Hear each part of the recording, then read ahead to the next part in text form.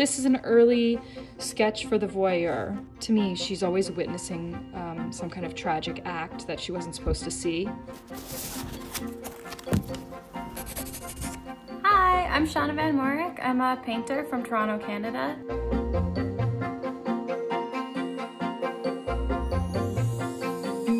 Today I'm going to be showing you a little bit of my sketchbooks from over the years and sharing a bit of my process that goes into creating my large-scale oil paintings. This is a drawing for my painting the pollinators. I just had the elements that I wanted to include. Um, so I wrote like cascade of flowers, insects on the ground. I wanted to have the pink, the tiger with uh, pink showing through. If you look at the finished piece, some of these things make it into it and some of them don't.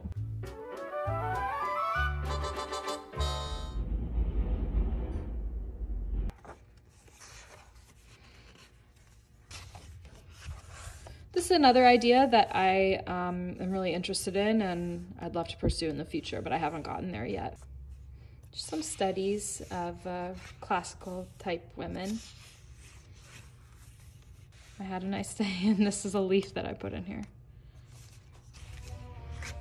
This page right here, um, these are actually removable little figures that I've made, sometimes when I'm working on a painting and I'm not sure of the placement, I'll make a little um, test piece and I'll move it around and see where I want it to go. So figure out like where I want the little bee and instead of painting it in and having to remove it. And there's also a lot of pages of just kind of free little drawings. Uh, that's something more recent. I started doing like a series on mushrooms where I um, basically just would do like one page drawings of just different types of mushrooms.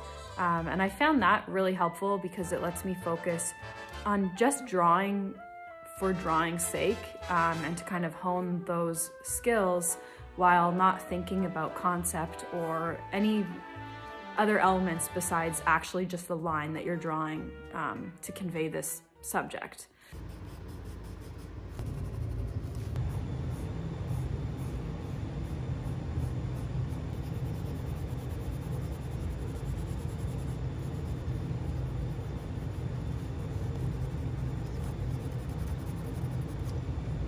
I would describe my work as a daydream. To me, it always represents a place that doesn't exist, situations that don't exist, um, mixing a lot of different creatures and colors and animals together that you wouldn't normally find. Um, so my sketchbook is kind of just a record of all my ideas and a place where I work those ideas out before moving forward with my oil paintings.